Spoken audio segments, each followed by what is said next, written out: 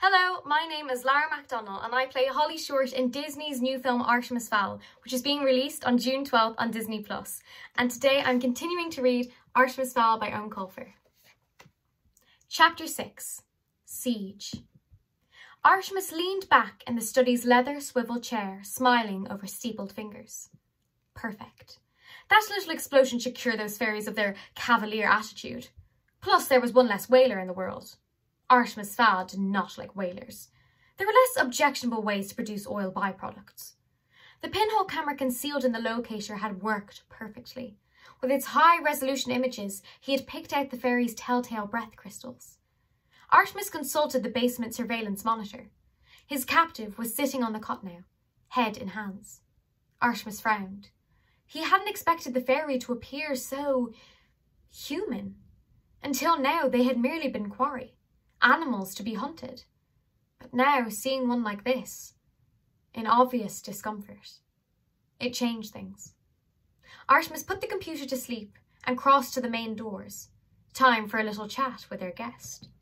Just as his fingers alighted on the brass handles, the door flew open before him. Juliet appeared in the doorway, cheeks flushed from haste.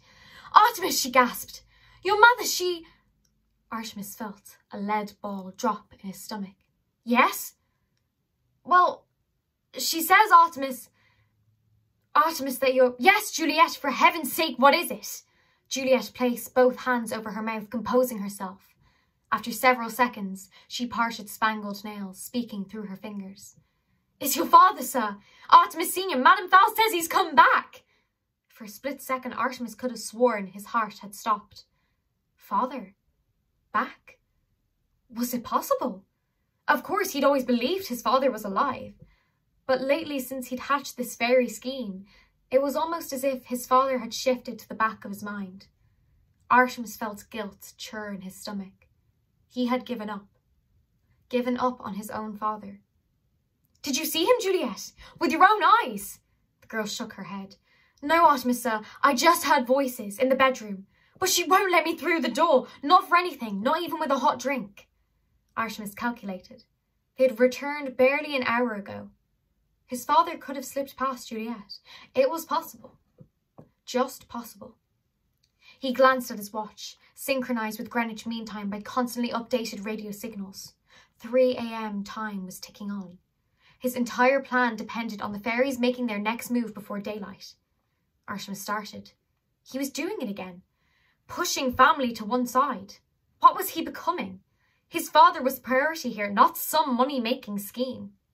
Juliet was still in the doorway, watching him with those enormous blue eyes.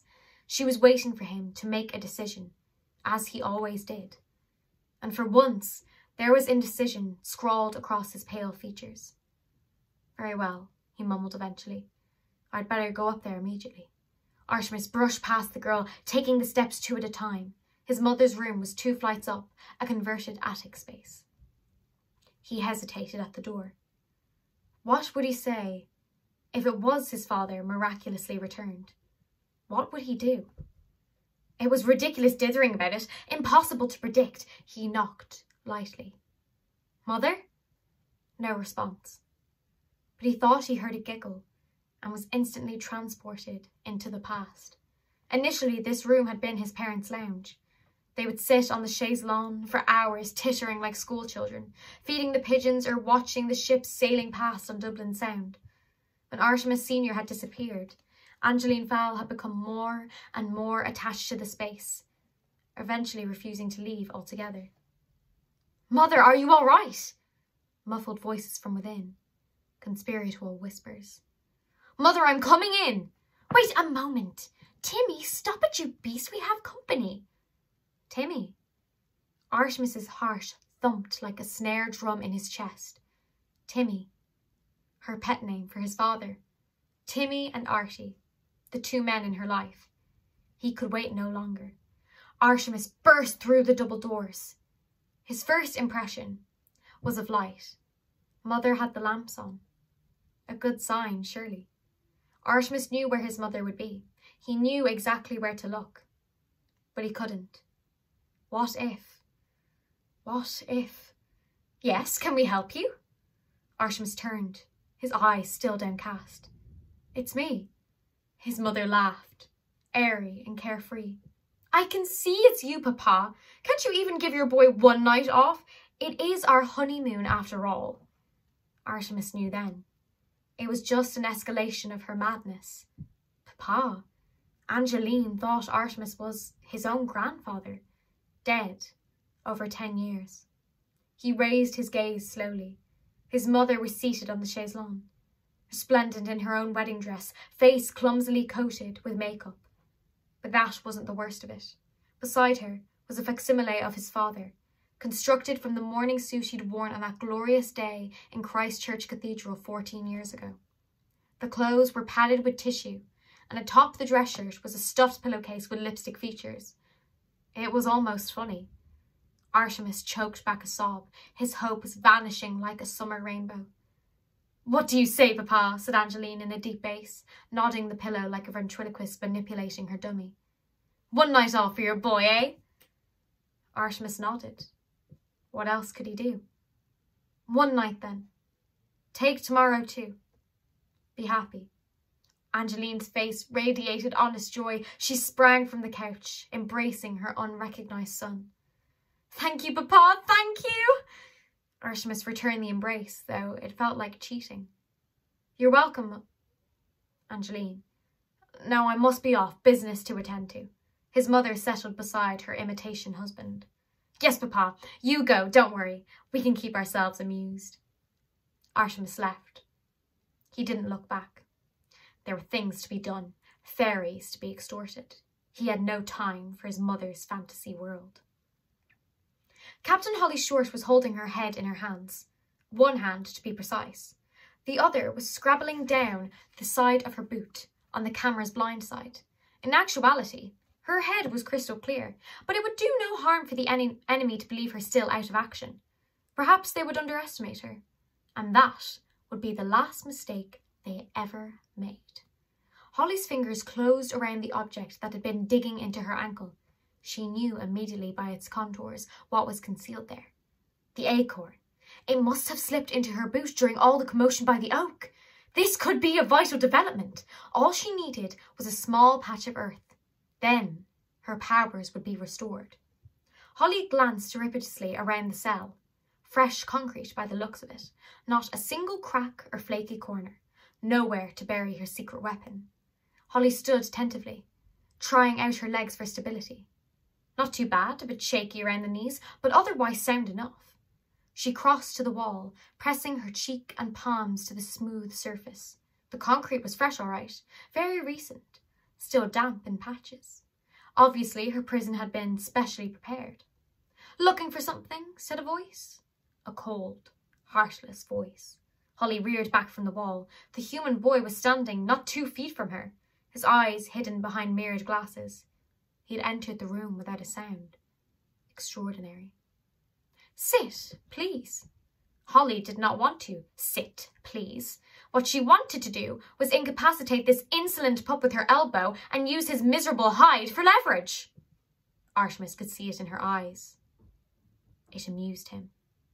Getting ideas, are we, Captain Short? Holly bared her teeth. It was answer enough. We are both fully aware of the rules here, Captain. This is my house. You must abide by my wishes. Your laws, not mine. Obviously, my wishes do not include bodily harm to myself or your attempting to leave this house. It hit Holly then. How do you know my... Your name? Your rank? Artemis smiled, though there was no joy in it. If you wear a name tag. Holly's hand unconsciously covered the silver tag on her suit. But that's written in Gnomish. I know. I happen to be fluent, as is everyone in my network. Holly was silent for a moment, processing this momentous revelation. Fowl, she said with feeling. You have no idea what you've done.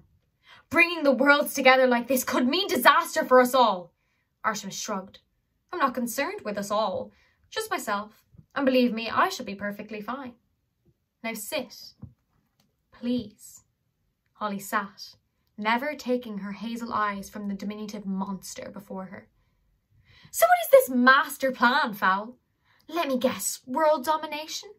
Nothing so melodramatic, chuckled Artemis. Just riches. A thief, spat Holly. You're just a thief!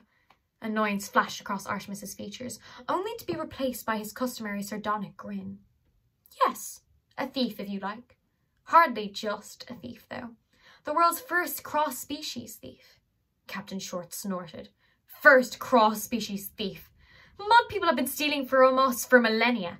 Why do you think we live underground? True, but I will be first to successfully separate a fairy from its gold. Gold? Gold? Human idiot. You don't honestly believe that crock of gold nonsense. Some things aren't true, you know. Holly threw her head back and laughed. Artemis checked his nails patiently, waiting for her to finish. When the gales had finally subsided, he shook his index finger. You were right to laugh, Captain Short. For a while there I did believe in all that under the rainbow crock of gold blarney, but now I know better. Now I know about the hostage fund. Holly struggled to keep her face under control. What hostage fund? Oh, come now, Captain. Why bother with the charade? You told me about it yourself. I, I, I told you, stammered Holly. Ridiculous! Look at your arm. Holly rolled up her right sleeve. There was a small cotton pad taped to the vein. That's where we administered the sodium pentanol, commonly known as truth serum. You sang like a bird. Holly knew it was true. How else could he know? You're crazy. Artemis nodded indulgently. If I win, I'm a prodigy. If I lose, then I'm crazy. That's the way history is written. Of course, there had been no sodium pentanol. Just a harmless prick with a sterilised needle. Artemis would not risk causing brain damage to his meal ticket, nor could he afford to reveal the book as the source of his information. Better to let the hostage believe that she'd betrayed her own people. It would lower her morale, making her more susceptible to his mind games. Still, the ruse disturbed him. It was undeniably cruel. How far was he prepared to go for this gold? He didn't know, and wouldn't until the time came. Holly slumped, momentarily defeated by this latest development. She had talked, revealed sacred secrets. Even if she did manage to escape, she would be banished to some freezing tunnel under the Arctic Circle. This isn't over, Fowl, she said at last. We have powers you can't possibly know about. It would take days to describe them all. The infuriating boy laughed again. How long do you think you've been here? Holly groaned. She knew what was coming. A few hours? Artemis shook his head. Three days, he lied. We've had you on a drip for over 60 hours until you told us everything we needed to know. Even as the words came out, Artemis felt guilty. These mind games were having an obvious effect on Holly, destroying her from the inside out. Was there really a need for this? Three days! You could have killed me! What kind of... And it was that speechless quality that sent the doubt shooting through Artemis's brain. The fairy thought him so evil she couldn't even find the words. Holly pulled herself together. Well then, master Fowl, she spat, heavy on the contempt. If you know so much about us, then you know what happens when they locate me. Artemis nodded absently. Oh yes, I know. In fact, I'm counting on it. It was Holly's turn to grin. Oh, really? Tell me, boy. Have you ever met a troll? For the first time, the human's confidence dropped a notch. No, never a troll. Holly showed more teeth. You will, Fowl. You will.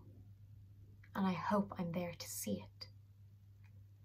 The LEP had established a Surface Ops HQ at E1 Tara. Well, said Root, slapping a parademic gremlin who was applying a burn salve to his forehead. Leave it, the magic will sort me out soon enough. Well, what? replied Foaly. Don't give me any of your lip today, Foaly, because today is not one of those, oh, I'm so impressed with the pony's technology days. Tell me what you found on the human. Foaly scowled, securing his foil hat between curled horns. He flipped the top on a wafer-thin laptop. I hacked into Interpol. Not too difficult, I can tell you. They might as well have put out a welcome mat. Root drummed his fingers on the conference table. Get on with it. Right. Fowl. 10 gigabyte file. In paper terms, that's Half a library, the commander whistled. That's one busy human. Family, corrected Foaly. The Fowls have been subverting justice for generations. Racketeering, smuggling, armed robbery, mostly corporate crimes last century. So do we have a location? That was the easy part. Fowl Manor, on a 200-acre estate on the outskirts of Dublin. Fowl Manor is only about 20 clicks from our current location. Root chewed his bottom lip. Only 20. That means we could make it before first light. Yep, sort out this whole mess before it gets out of hand in the rays of the sun. The commander nodded. This was their first break.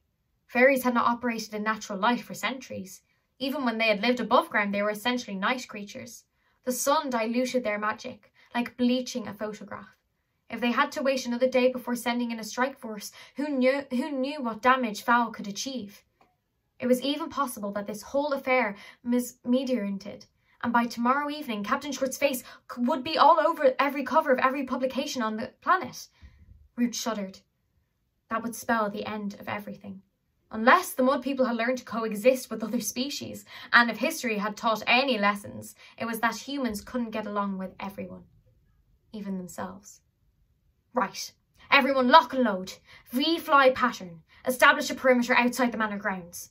The retrieval squad roared military-type affirmatives, coaxing as many metallic noises from their weapons as possible. Foaly, round up the techies. Follow us in the shuttle and bring the big dishes. We'll shut down the entire estate. Give ourselves a bit of breathing room. One thing, Commander, mused Foaly. Yes, said Root impatiently. Why did this human tell us who he was? He must have known we could find him. Root shrugged. Maybe he's not as clever as he thinks he is. No, I don't think that's it. I don't think that's it at all. I think he's been one step ahead of us all the way, and this is no different. I don't have time for theorising now, Foaly. First light is approaching. One more thing, Commander. Is this important? Yes, I think it is. Well, Foaly tapped a key on his laptop, scrolling through Artemis's vital statistics. This criminal mastermind, the one behind the elaborate scheme. Yes, what about him? Foaly looked up, a most admiring look in his golden eyes. Well, he's only 12 years old, and that's young, even for a human. Root snorted, jacking a new battery into his trial-barreled blaster. Too much damn TV. Thinks he's Sherlock Holmes. That's Professor Moriarty, corrected Foaly. Holmes, Moriarty, they both look the same with the flesh scorched off their skulls. And with that elegant parting response, Root followed his squad into the night air. The retrieval squad adopted the V-Goose formation with Root on point. They flew southwest, following the video feed emailed to their helmets. Foaly had even marked Fowl Manor with a red dot. Idiot proof, he'd muttered into his mouthpiece, just loud enough for the commander to hear him. The centrepiece of the Fowl estate was a renovated late medieval, early modern castle built by Lord Hugh Fowl in the 15th century. The Fowls had held on to Fowl Manor over the years, surviving war, civil unrest and several tax audits. Artemis did not intend to be the one to lose it. The estate was ringed by a 10-foot crenellated stone wall, complete with the original guard towers and walkways. The retrieval squad put down just inside the boundary and began an immediate scan for possible hostiles. Fifty feet apart, instructed Root. Sweep the area. Check in every 60 seconds. Clear. Retrieval nodded. Of course it was clear. They were professionals.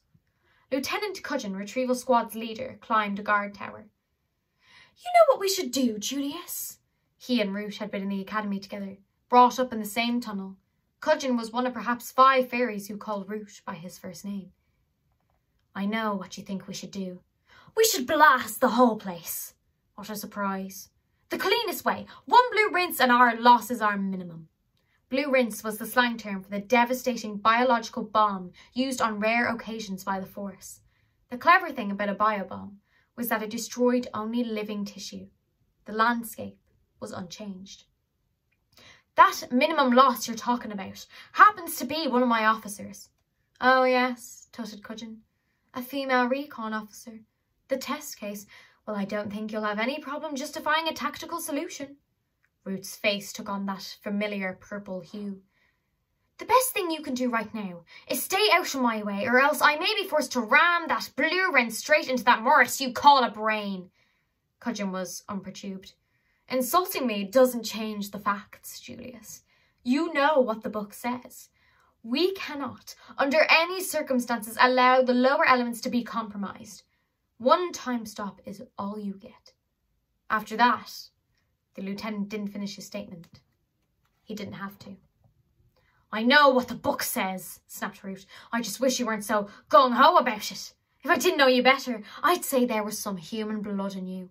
There's no call for that, pouted Cudgeon. I'm only doing my job. Point taken, conceded the commander. I'm sorry. You didn't often hear Root apologising, but then it had been a deeply offensive insult. Butler was on monitors. Anything? asked Artemis. Butler started. He hadn't heard the young master come in. No, nothing. Once or twice I thought I saw a flicker, but it turned out to be nothing. Nothing is nothing, commented Artemis cryptically. cryptically. Use the new camera. Butler nodded. Only last month, Master Fell had purchased a new cine, cine camera over the internet. 2,000 frames a second, recently developed by Industrial Light and Magic for specialised nature shoots, hummingbird wings and such. It processed images faster than the human eye could. Artemis had had it installed behind a chair above the main entrance. Butler activated the joypad. Where? Try the avenue. I have a feeling visitors are on the way. The manservant manipulated the toothpick-sized stick with his massive fingers. A live image sprang into life on the digital monitor. Nothing, muttered Butler. Quiet as the grave. Artemis pointed to the control desk. Freeze it. Butler nearly questioned the order. Nearly. Instead, he held his tongue and pressed the pad. On screen, the cherry trees froze, blossoms trapped in midair. More important, a dozen or so black-clad figures suddenly appeared on the avenue. What? exclaimed Butler. Where did they spring from? They're shielded, explained Artemis. Vibrating at high speed, too fast for the human eye to follow. But not for the camera, nodded Butler. Master Artemis, always two steps ahead. If only I could carry it around with me. If only. But we do have the next best thing. Artemis lifted a headset gingerly from the workbench. It was the remains of Holly's helmet. Obviously, trying to cram Butler's head into the original helmet would be like trying to fit a potato into a thimble. Only the, only the visor and control buttons were intact. Straps from a hard hat had been rigged to fit the manservant's cranium. This thing is equipped with several filters. It stands to reason that one of them is anti-shield. Let's try it out, shall we? Artemis placed the set over Butler's ears. Obviously, with your eye span, there are going to be blind spots, but that shouldn't hamper you and Julie. Now, run the camera. Butler set the camera rolling again, while Artemis slotted down one filter after another. Now? No. Now? Everything's gone red. Ultraviolet, no fairies. Now? No, Polaroid, I think. Last one. Butler smiled. A shark that spotted a bear behind. Got him. Butler was seeing the world as it was, complete with LEP retrieval teams sweeping the avenue. Hmm, said Artemis. Strobe variation, I would guess. Very high frequency. I see, fibbed Butler. Metaphorically or literally? His employer smiled. Exactly. Artemis shook himself. More jokes. Next thing he'd be wearing clown shoes and turning cartwheels in the main hall. Very well, Butler. Time for you to do what you do best. We appear to have intruders in the grounds. Butler stood. No further instructions were necessary. He tightened the hard hat straps, striding brusquely to the door. Oh, and Butler? Yes, Artemis? I prefer scared to dead, if possible. Butler nodded. If possible. LEP Retrieval 1 were the best and the brightest. It was every little fairy's dream that one day he would grow up to don the stealth black jumpsuit of the Retrieval Commandos. These were the elite. Trouble was their middle name. In the case of Captain Kelp, Trouble was actually his first name. He'd insisted on it on as his manhood ceremony, having just been accepted into the academy. Trouble led his team down the sweeping avenue. As usual, he took the point position himself, determined to be the first into the fray. As he fervently hoped, a fray developed. Check in, he whispered into the mic that wound snake-like from his helmet. Negative on one. Nothing, Captain. A big negatory trouble. Captain Kelp winced. We're in the field, Corporal. Follow procedure. But Mommy said... I don't care what Mommy said, Corporal. Rank is rank. You will refer to me as Captain Kelp. Yes, sir, Captain, sulked the corporal. But don't ask me to iron your tunic any more. Trouble zeroed in on his brother's channel, shutting out the rest of the squad. Shut up about Mummy, will you? And the ironing. You're only on this mission because I requested you. Now start acting like a professional or get back to the perimeter. Okay, Trubs. Trouble! shouted Captain Kelp. It's trouble, not Trubs or Trub. Trouble, okay? Okay, trouble. Mummy's right. You're only a baby. Swearing very unprofessionally, Captain Kelp switched his headset back to the open channel. He was just in time to hear an unusual sound. What was that? What? Dunno. Nothing, Captain. But Trouble had done a sound recognition in service for his captain's exam, and he was pretty sure that had been, had been caused by someone getting a chop across the windpipe. More than likely, his brother had walked into a shrub. Grub? Are you all right? That's Corporal Grub to you. Kelp viciously kicked at Daisy. Check in, sound off in sequence. One, okay. Two, fine. Three, bored but alive. Five, approaching West Wing. Kelp froze. Wait. Four? You there, Four? What's your situation? Nothing, except static. Right, Four is down, possibly an equipment malfunction. So we can't afford to take any chances. Regroup by the main door. Retrieval 1 crept together, making slightly less noise than a silk spider. Kelp did a quick head count. Eleven. One short of a full completement. Four was probably wandering around the rose bushes, wondering why nobody was talking to him. Then Trouble noticed two things. One, a pair of black boots was sticking out of a shrub beside the door. And two, there was a massive human standing in the doorway. The figure was cradling a very nasty-looking gun in the crook of his arm. Go silent, whispered Kelp, and immediately eleven full-face visors slid down to seal in the sounds of his squad's breathing and communications. Now, nobody panic. I think I can trace the sequence of events here. Four skulking around outside the door. The mudman opens it. Four gets a whack on the noggin and lands in the bushes. No problem. Our cover is intact. Repeat, intact, so no itchy fingers, please. Grub, sorry, Corporal Kelp, check for his vitals. The rest of you make a hole and keep it quiet. The squad stepped back carefully until they were standing on the manicured grassy verge. The figure before them was indeed impressive, without doubt the biggest human any of them had ever seen. D'Arvit, breathed two. Maintain radio silence except in emergencies, ordered Kelp. Swearing is hardly an emergency. Secretly, however, he concurred with the sentiment. This was one time he was glad to be shielded. That man looked as if he could squash half a dozen fairies in one massive fist. Grub returned to his slot. Four stable. Concussed, I'd guess, but otherwise okay. His shield's off, though, so I stuffed him in the bushes. Well done, Corporal. Good thinking. The last thing they needed was for Four's boots to be spotted. The man moved, lumbering casually along the path. He may have glanced left or right, it was difficult to tell beneath the hood pulled over his eyes.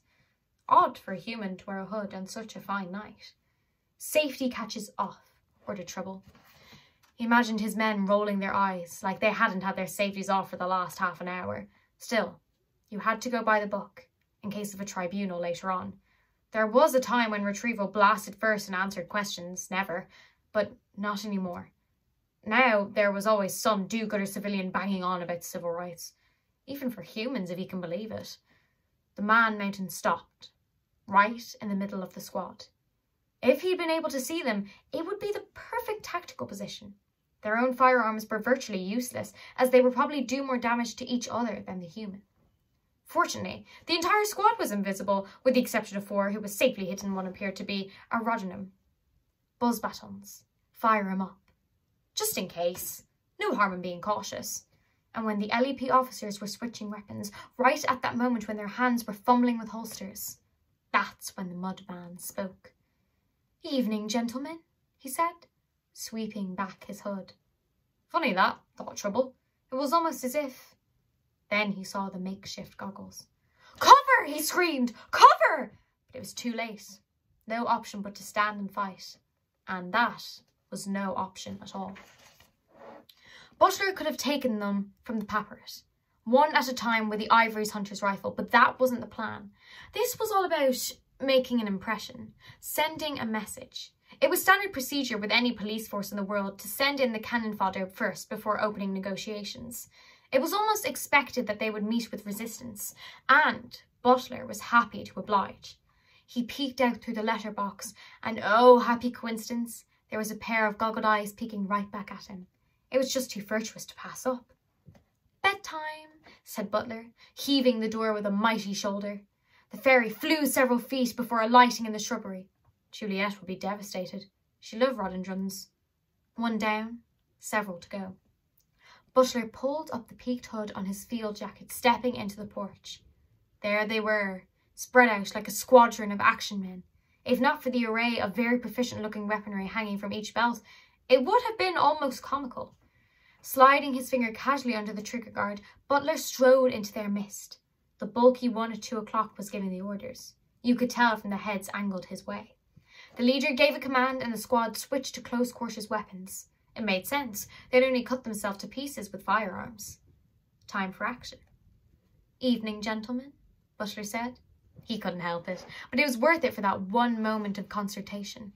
Then his gun was up and blazing. Captain Kelp was the first casualty, a titanium-tipped dart puncturing the neck of his suit. He went down sluggishly, as though the air had turned to water. Two more of the squad were dropped before they had any idea what was going on. It must be quite traumatic, thought Butler, dispassionately, to lose an advantage that you've held for centuries. By now, the remains of Retrieval 1 had their buzz batons fired up and raised, but they made the mistake of hanging back, waiting for a command that was not forthcoming.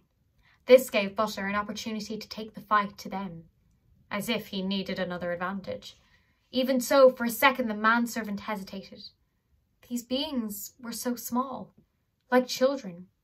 Then Grubb clipped him on the elbow with his buzz baton and a thousand volts spread across Butler's chest. All sympathy for the little people vanished instantly.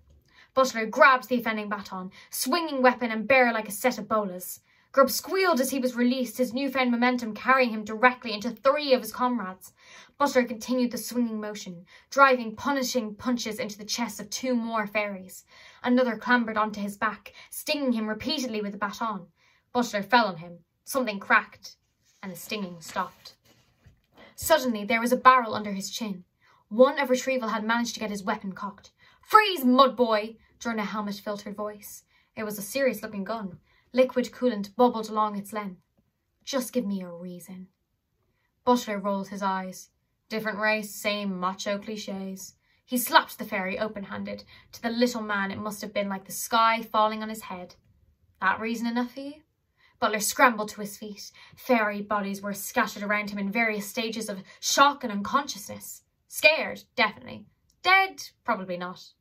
Mission accomplished. One little guy was faking, though. You could tell by the way his tiny knees knocked together. Butler picked him up by the neck, finger and thumb easily meeting around the back. Name? G G Grubb, or uh, er, I mean Corporal Kelp. Well, Corporal. You tell your commander that the next time I see armed forces coming in here, they'll be picked off by sniper fire. No darts either. Armour-piercing bullets. Yes, sir. Sniper fire. Got it. Seems fair. Good. You are, however, permitted to remove your injured. Most generous of you. But if I see so much as the twinkle of a weapon on any of the medics, I might be tempted to detonate a few of the mines I've planted in the grounds. Grubb swallowed, his pallor increasing behind the visor. Unarmed medics, crystal clear. Butler set the fairy down, brushing his tunic with massive fingers. Now, final thing. Listening? Furious nods. I want a negotiator. Someone who can make decisions. Not some no-ranker who has to run off back to base after every demand. Understood? Fine. That is, I'm sure it will be fine. Unfortunately, I'm one of those no-rankers, so you see, I can't actually guarantee it will be fine. Butler was sorely tempted to drop-kick this little fellow back to his camp. Very well. I understand. Just shut up! Grubb almost agreed, and he clamped his mouth shut and nodded. Good. Now before you go, collect all weapons and helmets and make a little pile right there. Grubb took a deep breath. Ah well, may as well go out a hero. I can't do that. Oh, really? And why not? Grubb drew himself up to his full height. An LEP officer never relinquishes his weapon. Butler nodded. Fair enough. Thought I'd ask you. Off you go then. Hardly able to believe his luck, Grubb scurried back toward the command tower. He was the last fairy standing. Trouble was snoring in the gravel, but he, Grubb Kelp, had faced down the mud monster. Wait until Mummy heard about this. Holly sat on the edge of her bed, fingers curled around the metal base. She lifted slowly, taking the weight on her arms. The strain threatened to pop her elbows from their sockets. She held it for a second and then slammed the frame into the concrete. A satisfying cloud of dust and splinters swirled around her knees. Good, she grunted. Holly eyed the camera. Doubtless they were watching her. No time to waste. She flexed her fingers, repeating the maneuver again and again until the steel base left deep welts in her finger joints. With each impact, more and more splinters popped from the fresh floor. After several moments, the cell door burst open and Juliet fell into the room. What are you doing? she panted. Trying to knock the house down? I'm hungry, shouted Holly. And I'm fed up waving at that stupid camera. Don't you feed your prisoners around here? I want some food. Juliet's fingers curled into a fist. Artemis had warned her to be civil, but there was a limit. No need to get your pant... or whatever in a twist. So what do you fairies eat? Got any dolphin? Holly asked sarcastically. Juliet shuddered. No, I don't, you beast! Fruit then, or vegetables. Make sure they're washed. I don't want any of your chemical poisons in my blood. Ha ha, what a riot you are. Don't worry, all our produce isn't grown naturally. Juliet paused on her way to the door. And don't you go forgetting the rules. No trying to escape from the house. And there's no need to break up the furniture either. Don't make me demonstrate my full Nelson. As soon as Juliet's footsteps had faded, Holly began smashing the bed into the concrete. That was the thing about fairy bonds. The instructions had to be given eye to eye, and they had to be very precise. Just saying there was no need to do a thing wasn't specifically fit forbidding an elf to do it. And another thing, Holly had no intention of escaping from the house. That wasn't to say that she didn't mean to get out of her cell. Artemis had added yet another monitor to the bank. This one was linked to a camera in Angeline Fowl's attic room. He spared a moment to check in on his mother. Sometimes it bothered him, having a camera in her room. It seemed almost like spying, but it was for her own good. There was always the danger that she could hurt herself. At the moment, she was sleeping peacefully, having swallowed the sleeping pill that Juliet had left on her tray. All part of the plan. A vital part. Butler entered the control room. He was clutching a fistful of fairy hardware and rubbing his neck. Tricky little blighters. Artemis looked up from, from the monitor bank. Any problems? Nothing major. His little batons pack quite a punch, though. How's our prisoner? Fine. Juliet is getting her something to eat. I'm afraid Captain Short is going a bit stir-crazy. On the screen, Holly was smashing her cot into the concrete. It's understandable, noted the servant. Imagine her frustration. It's not as if she can tunnel her way out. Artemis smiled. No. The entire estate is built on a bed of limestone. Not even a dwarf could tunnel his way out here. Or in. Wrong, as it happened. Dead wrong. A landmark moment for Artemis Fowl. The LEP had procedures for emergencies like this one. Admittedly, these did not include the retrieval squad getting hammered by a lone enemy. Still, that just made the next step all the more urgent, especially with the faintest of orange tinges creeping into the sky. Are we good to go? roared, roared, roared Root into his mic, as though it wasn't whisper sensitive. Good to go, thought Foaly, busy wiring the last dish on a watchtower. These military types and their catchphrases. Good to go, lock and load, I don't know what I've been told. So insecure. Aloud, he said, No need to shout, Commander. These headsets could pick up a spider scratching in Madagascar. And is there a spider scratching in Madagascar? Well, I don't know. They can't really. Well, stop changing the subject, Foaly, and answer the question. The centaur scowled. Commander took everything so literally. He plugged the dish's modem len into his laptop. Okay, we're good to go. About time, too. Right, flip the switch. For the third time in as many moments, Foaly gritted his horsey teeth. He was indeed the stereotypical underappreciated genius. Flick the switch, if you don't mind. Root didn't have the cranial capacity to appreciate what he was trying to do here. Stopping time wasn't just a matter of pressing the on button. There was a series of delicate procedures that had to be performed with utmost precision. Otherwise, the stop zone could end up as just as such ash and radioactive slop. While it was true that fairies had been stopping time for millennia, these days with satellite communication and the internet, humans were liable to notice if a zone just dropped out of time for a couple of hours. There was an age where you could throw a blanket stoppage over a whole country and the mud people would simply think the gods were angry. But not anymore. Nowadays, the humans had instruments for measuring anything, so if there was any time stopping to be done, it better be fine-tuned and precise. In the old days, five elfin warlocks would form a pentagram around the target and spread a magic shield over it, temporarily stopping time inside the enchanted enclosure. But this was fine as far as it went, provided the warlocks didn't have to use the bathroom. Many a siege was lost because an elf had one glass of wine too many. Warlocks tire quickly too, and their arms get sore. On a good day, you had maybe an hour and a half, which was hardly worth the trouble in the first place. It was Foaly's idea to mechanise the whole procedure. He had the warlocks do their thing into lithium batteries, and then set up a network of receiver dishes around the designated area. Sound simple? Well, it wasn't. But there were definite advantages. For one thing, there were no more power surges. Batteries didn't try to show off to each other. You could calculate exactly how many power cells were needed, and sieges could be extended for up to eight hours. As it happened, the Fowl estate was the perfect location for a time stop, isolated with a definite boundary. It even had elevated towers for the dishes, for heaven's sake. It was almost as if Artemis Fowl wanted it to be time stopped. Foaly's finger hesitated over the button. Could it be possible? After all, the human youth had been one step ahead throughout this whole affair. Commander, are we online yet? Not exactly. There's something. Root's reaction nearly blew out the woofers in Foaly's earpiece. No, Foaly, there isn't something. None of your bright ideas, thank you very much. Captain Short's life is in danger. So push the button before I climb the tower and push it with your face. Touchy, muttered Foaly, and pushed the button. Lieutenant Cudgeon checked his moonometer. You have eight hours. I know how much time I have, growled Root. And stop following me. Don't you have work to do? Actually, now that you mention it, I have a biobomb to arm. Root rounded on him. Don't annoy me, Lieutenant. Having you make comments at every turn is not improving my concentration. Just do whatever it is you feel you have to do, but be prepared to back it up at tribunal.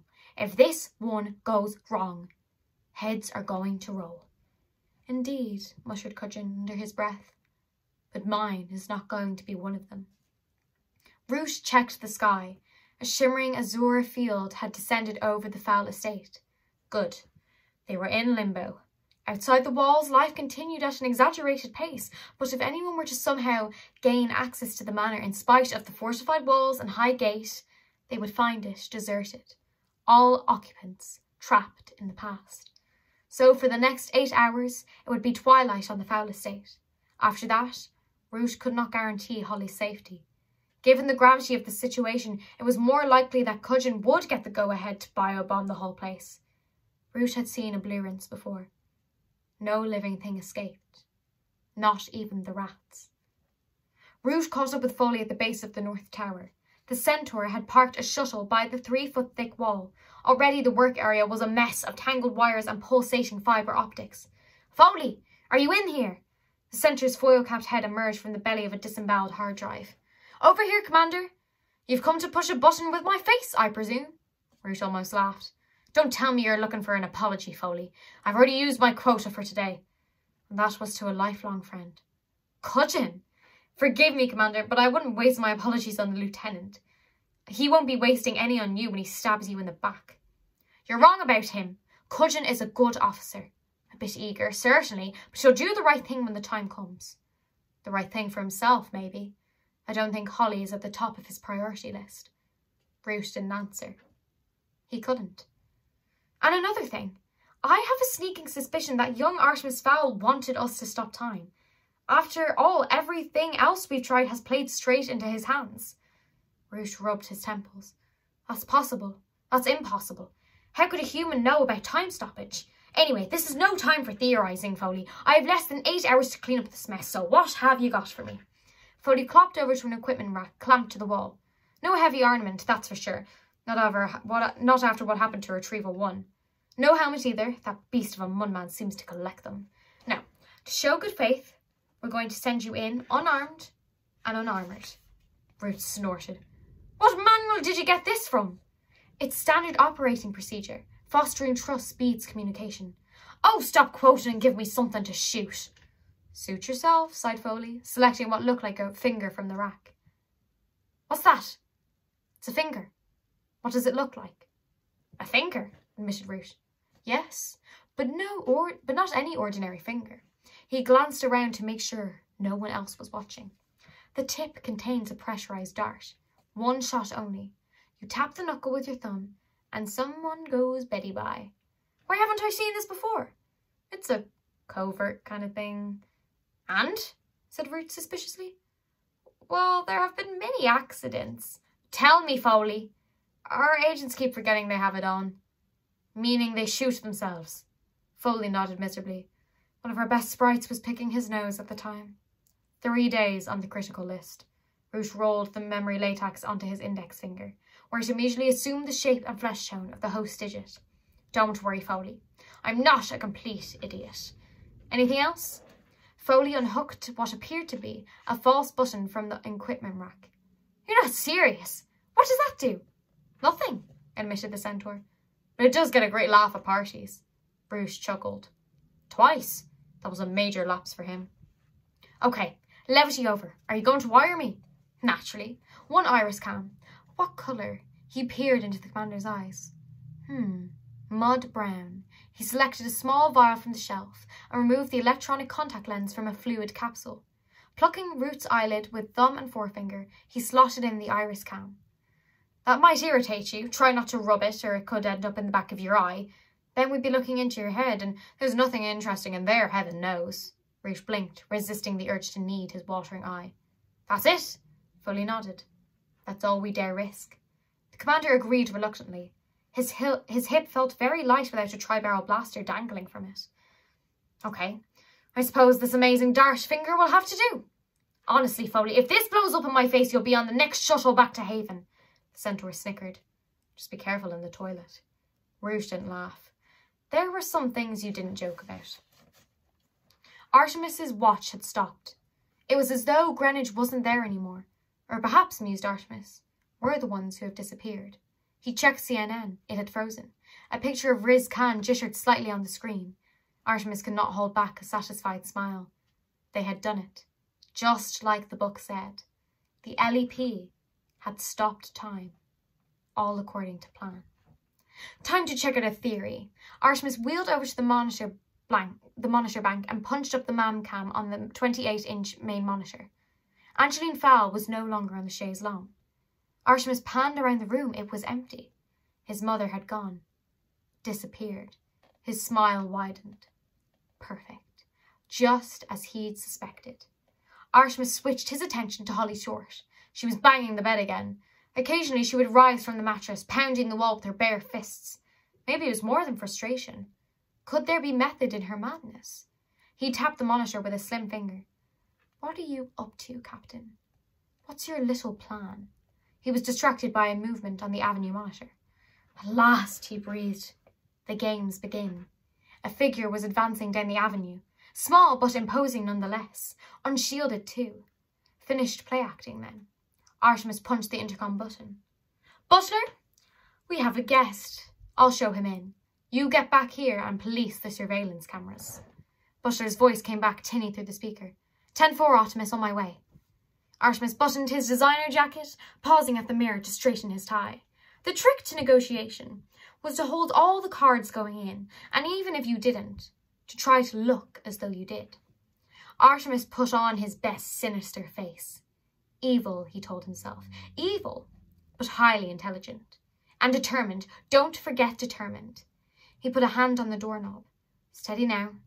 Deep breaths and try not to think about the possibility that you have misjudged this situation and you're about to be shot dead. One, two, three. He opened the door. Good evening, he said, every inch the gracious host, albeit a sinister, evil, intelligent and determined one.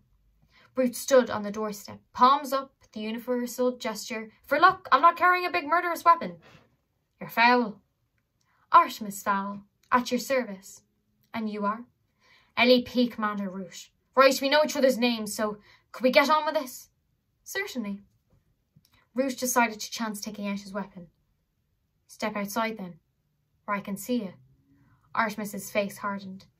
Have you learned nothing from my demonstrations? The ship? Your commandos? Do I need to kill someone? No, said Root hurriedly. I only... You only meant to lure me outside where I could be snatched and used to trade. Please, Commander Root, raise your game or send someone intelligent. Root felt the blood pump through his cheeks. Now you just listen to me, you young... Artemis smiled, in command again. Not very good negotiation techniques, Commander, to lose your cool before we even get to the table. Root took several deep breaths. Fine, whatever you say. Where would you prefer to conduct our talks? Inside, of course. You have my permission to enter, but remember Captain Short's life is in your hands. Be careful with it. Root followed his host down the vaulted hallway. Generations of Fowls glared down at him from classical portraits. They passed through a stained oak doorway to a long conference room. There were two places set at a round table, complete with pads, ashtrays and water jugs. Root was delighted to see the ashtrays and immediately pulled a half-chewed cigar from his vest. Maybe you're not such a barbarian after all, he grunted, exhaling a huge cloud of green smoke. The commander ignored the water jugs, instead pouring himself a shot of something purple from a hip flask. He drank deeply, belched, and sat. Ready? Artemis shuffled his notes like a news anchor. Here's the situation as I see it. I have the means to expose your subterranean existence and you are powerless to stop me. So, basically, whatever I ask for is a small price to pay. Root spat out a shred of fungus tobacco. So you think you could just put all this information all over the internet? Well, not immediately, not with the time stop in effect. Root choked on a lungful of smoke. Their ace in the hole. Gone. Well, if you know about the time stop, you must also know that you are completely cut off from the outside world. You are, in effect, Powerless. Artemis jotted a note on the pad. Let's save some time here. I grow weary of your clumsy bluffs. In the case of an abduction, the LEP will first send a crack retrieval team to get back what has been lost. You have done so. Excuse me while I titter. Crack team? Honestly. A Cub Scout patrol armed with water pistols could have defeated them. Root fumed silently, taking out his anger on the cigar butt. The next official step is negotiation, and finally when the eight-hour time limit is about to run out, and if no solution can be reached, a biobomb is detonated contained by the time field. You appear to know an awful lot about us, Master. I don't suppose you'll tell me how. Correct. Root smashed the remains of his cigar into the crystal ashtray. So let's have it. What are your demands? One demand. Singular. Artemis slid his notepad across the polished table. Root read what was written there. One ton of 24 carat gold. Small un unmarked ingots only. You can't be serious. Oh, but I am. Root sat forward in his chair. Don't you see? Your position is untenable. Either you give us back Captain Short or we will be forced to kill you all. There is no middle ground. We don't negotiate. Not really. I'm just here to explain the facts to you. Artemis smiled his vampire smile. Oh, but you will negotiate with me, Commander. Oh, really? And what makes you so special? I am special because I know how to escape the time field. Impossible, snorted Root. Can't be done. Oh, yes, it can. Trust me. I haven't been wrong yet. Root tore off the top page, folding it into his pocket. I'll have to think about this. Take your time. We have eight hours. Excuse me, seven and a half hours. Then time's up for everybody. Root said nothing for a long while, tapping his nails on the tabletop. He took a breath to speak, then changed his mind and stood abruptly. We'll be in touch. Don't worry, I'll see myself out. Artemis pushed his chair back. You do that. But remember this. None of your race has permission to enter here while I'm alive. Root stalked down the hallway, glaring back at the oil paintings. Better to leave now and process this new information. The Fowl boy was indeed a slippery opponent. But he was making one basic mistake. the assumption Root would play by the rules. However, Julius Root hadn't gotten his commander stripe by following any rulebook. Time for a bit of unorthodox action. The videotape from Root's iris cam was being reviewed by experts. You see there, said Professor Cumulus, a behavioural specialist. That twitch. He's lying. Nonsense, huffed Dr. Argon, a psychologist from below the United States. He's itchy, that's all. He's itchy, so he scratches. Nothing sinister in it. Cumulus turned to Foaly. Listen to him. How can I be expected to work with this charlatan? Witch doctor, countered Argon. Foaly raised his hairy palms. Gentlemen, please. We need agreement here. A concrete profile. It's no use, said Argon. I can't work in these conditions. Cumulus folded his arms. If he can't work, neither can I. Root strode through the shuttle, the shuttle double doors. His trademark pur purple complexion was even rosier than usual. That human is toying with us. I will not have it. Now what did our experts make of the tape? Foaly moved slightly to the side, allowing the commander a clear run at the so-called experts. Apparently they can't work in these conditions. Root's eyes narrowed to slits, bringing his prey into sharp focus. Excuse me? The good doctor is a half-wit, said Cumulus, unfamiliar with the commander's temper. I, I'm a half-wit, stuttered Argon, equally ignorant.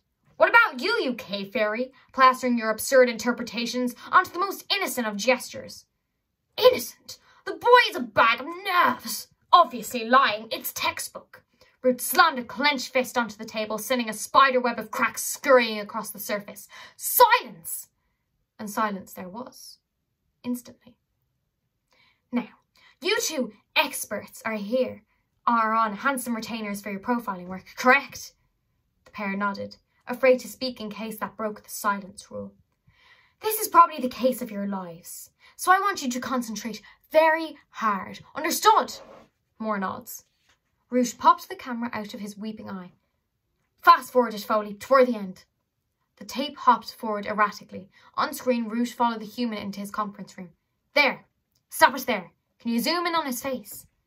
Can I zoom in on his face? snorted Foaly. Can a dwarf steal the web from under a spider? Yes, replied Root. That was a rhetorical question, actually.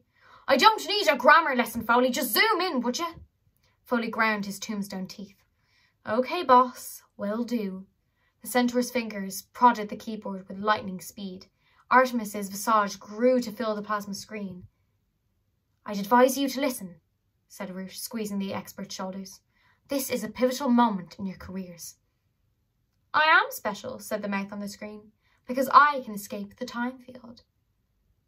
Now tell me, said Root, is he lying? Run it again, said Cumulus. Show me the eyes. Argon nodded. Yes, just the eyes. Foaly tapped a few more keys and Artemis's deep blue eyes expanded to the width of the screen. I am special, boomed the human voice, because I can escape the time field. Well, is he lying? Cumulus and Argon looked at each other. All traces of antagonism gone. No, they said simultaneously. He's telling the truth, added the behaviourist. Or, clarified the psychologist, at least he thinks he is. Root swabbed his eye with a cleansing solution. That's what I thought. When I looked that human in the face, I figured he was either a genius or crazy. Artemis's cool eyes glared at them from the screen. So which is it? asked Foaly. A genius or crazy? Root grabbed his tri-barrel blaster from the gun rack. What's the difference? he snapped, strapping his trusty weapon to his hip. Get me an outside line to E1. This Fowl person seems to know all of our rules, so it's time to break a few.